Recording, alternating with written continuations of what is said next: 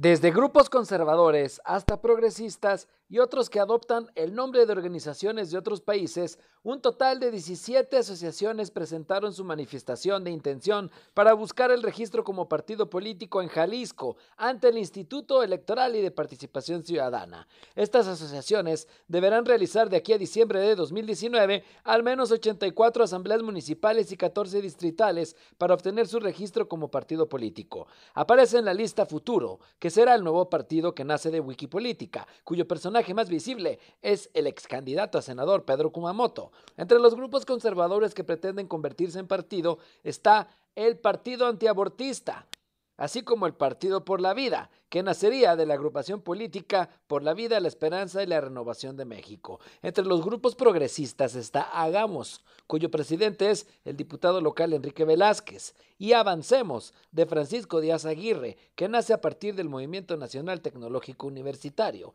Otras asociaciones que pretenden convertirse en partido tomaron el nombre de Podemos, conocido partido político de España.